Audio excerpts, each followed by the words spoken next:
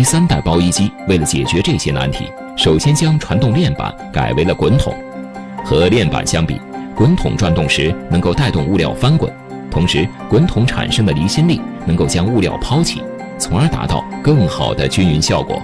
为了使聚集在一起的物料分散开来，设置了一组导流板，对物料进行连续不间断的搅拌均匀。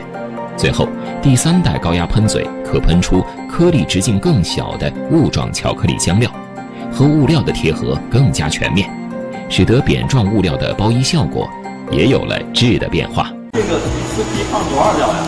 一次可以放到，它看颗粒物的比重。如果颗粒物重的话，我们可以放到五百公斤。五百公斤？对，五百公斤。啊，咱们这测试就不用放那么多。对对，测试我们就适当放一点，看一下这效果。对对，主要检测设备的效果。第三代全自动包衣机正面的窗口不仅方便自动上料，也能达到观察内部情况的作用。旋转的滚筒在导流板的辅助下，将物料充分的均匀开来。